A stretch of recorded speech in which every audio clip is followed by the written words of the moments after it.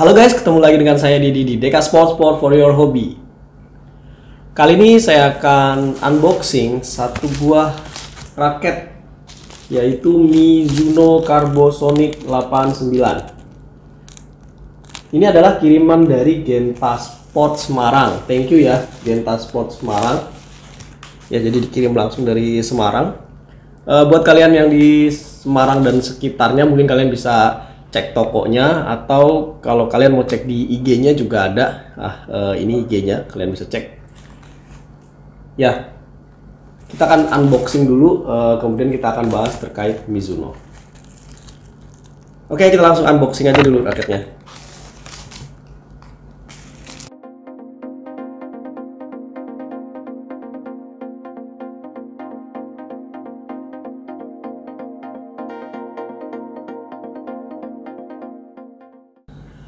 Oke, ini dia raketnya. Mizuno Carbosonic 89. Oke, kita mau bahas dulu ya. Dari bawah ini Mizuno. Seperti ini cap bawahnya. Kemudian ini gripnya, gripnya ini setara G5. Grip G5. Kemudian ada tulisan apa aja di sini? Ada tulisan Carbosonic 89 MZBF2310 serinya kemudian ini warnanya black stealth at gray gold. Oke okay. jadi ada uh, warna hitam ada warna abu-abu ada warna emas. Kemudian ada tulisan 4U 81 gram sampai 85 gram. Jadi kategorinya 40 ini grip size nya G5 kita ke atas ada cap Mizuno ini capnya chamfer cap uh, standar sih ya chamfer cap standar kemudian di atasnya ada seri MZ 1668 kode produksinya. Kemudian ini di atas uh, tampilannya seperti ini. Tampilannya bagus rapi banget stikernya rapi banget loh ini rapi banget. Nah banyak tulisan di sini ayo kita baca lagi satu persatu.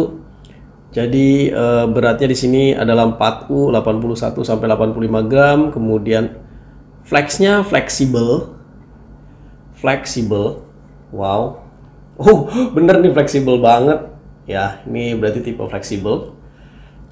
Kemudian string tension maksimum 28 lbs atau 28 pounds. Kemudian balance pointnya ada di tengah-tengah. Nih kalau ada uh, dua garis high HH sama HL, dia ada di tengah-tengah. Berapa nanti kita coba ukur. Nah, terkait Mizuno ini, ini pernah saya bahas ya marketing strateginya. Uh, jadi marketing strateginya saat ini dia sebenarnya hmm, lebih jualan ke sepatu sih. Kalau kalian lihat webnya aja itu rata-rata sepatu. Even di uh, Tokopedia saya cek di online store-nya juga jualannya sepatu. Nah, uh, ini memang adalah uh, produk bukan produk utamanya si Mizuno. Dan dengan uh, sepeninggalan promotionnya dia melalui The Daddies dulu kan dia uh, sponsorin The Daddies ya Hendra Hasan sekarang dia udah enggak. Popularitas di Indonesia pun uh, di Indonesia udah mulai turun juga. Tidak se ramai waktu dipakai The Daddies. Waktu dipakai The Daddies itu kalau saya main ada aja yang pakai Mizuno. Bahkan uh, rela beli harga di atas satu juta uh, Mizuno. Karena mereka yakin itu adalah raket yang bagus. Karena memang bagus ya uh, tapi sepeninggalan The Daddies semakin sedikit yang pakai. Karena memang di Indonesia kan begitu ya di Indonesia itu sosok.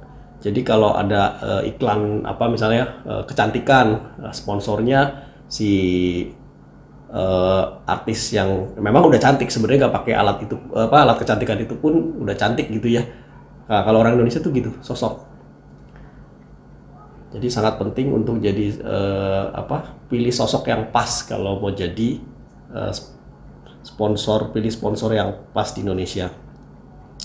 Kita ke tampilannya ya. Jadi kalau tampilannya ini ini kan harganya di 800 sampai 900 ribuan. Jadi bisa dibilang kelas menengah. Enggak bukan yang murah ya, bukan yang uh, level 500 ribuan juga bukan yang uh, flagship. Jadi di tengah-tengah dan ini memang secara tampilan desainnya pun adalah raket di level tengah ya. Mulai desainnya stikernya jadi di kelas menengah lah. Dia mungkin sejajar dengan uh, raket-raketnya Yonex yang made in Taiwan. Contoh Astro 69 kemudian eh, mungkin yang seri game. Nah ini ada di level itu. Kemudian kita lihat lagi shaftnya stikernya sih rapi banget ini rapi banget ya rapi banget. Kemudian warna catnya juga eh, tidak Nora ini kalem suka kalau yang suka warna kalem yang nggak Nora ini cocok lah ya. Tapi ada emas-emasnya juga jadi kelihatan elegan. Kemudian di bagian T-nya T engkornya ini uh, bagus banget rapi banget. Dan dia untuk grommet di bagian sini udah pakai U-join nah ini yang menarik dari Mizuno. Mizuno itu selalu punya khas yaitu di bagian sini. Dia tipis di bagian sini. Aerodinamis di bagian sini. Kalau yang JPX lebih ekstrim lagi ya. Nah JPX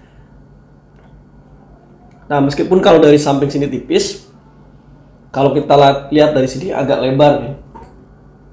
Agak lebar kalau saya lihat sini lebih lebar daripada punyanya Yonex. Jadi itu uh, penampangnya itu dari sininya nih lebar, lebih lebar. Tapi kalau dari sini dari uh, arah depan seperti ini, ini adalah tipis. Fungsinya buat apa ya aerodinamis lah. Karena memang uh, Mizuno itu identik dengan swing, swing yang cepat, swing speednya karena memang penampangnya rata-rata tipis. Ini adalah karakter dari raket-raket Mizuno. Oke. Nah, di sini ada jelas tulisannya nih, wide body. Jadi memang ininya lebar, tapi dari samping tipis. Kemudian ada tulisan juga aeroframe. Ini uh, identik dengan aerodinamis karena memang tipis dan agak lancip gitu loh. Di bagian ujung sininya tuh agak lancip gitu. Jadi untuk membelah angin, untuk aerodinamisnya dia. Kemudian untuk pengaman si uh, senar sekaligus aerodinamis, hampir seluruh bagian uh, senarnya itu masuk ke dalam. Ada groove-nya atau cekukannya. Jadi uh, selain untuk melindungi senar juga untuk aerodinamis. Jadi nggak nggak nongol ke depan. Ini hampir nih dari bawah sini sampai ke bawah lagi oke okay. grometnya ada berapa kita hitung oke okay. jadi grometnya ada 76 ini udah yang uh, rapat ya jadi untuk keawetan senar juga bagus untuk kontrol juga bagus kemudian ini di gromet bagian atas dua ini warnanya beda cuma beda warna aja sih coba kita tes grometnya sebagus apa ini agak keluar-keluar sih Oke, grommet yang di bagian tengah-tengah sih uh, bagus semua kecuali yang U ini memang agak kondor dikit, agak longgar dikit. Agak longgar dikit. Tapi nggak apa-apa nanti kan dikunci ya sama si senarnya. Oke, kemudian uh, kita coba ukur lah ya. Kita akan coba ukur uh, berapa sih beratnya dan berapa balance pointnya. Oke, setelah saya ukur untuk beratnya itu ada di 85 gram. Jadi masih sesuai dengan apa yang tertulis di spesifikasi di raket ini ya. 85 gram. Jadi 4U yang sudah hampir nyebrang ke 3U. Kemudian untuk balance poinnya di sini kan di tengah-tengah ya. Saya ukur tuh di 287. Artinya memang masih even balance ya, belum sampai ke 290. Oke, uh, kemudian untuk diameter shaftnya itu 7 mm artinya dia sudah masuk ke kategori slim shaft jadi kalau ini dimasukin ke kategori speed ya cukup bisa sih cuma saya lebih uh, lebih setuju kalau ini dimasukin ke all around ya.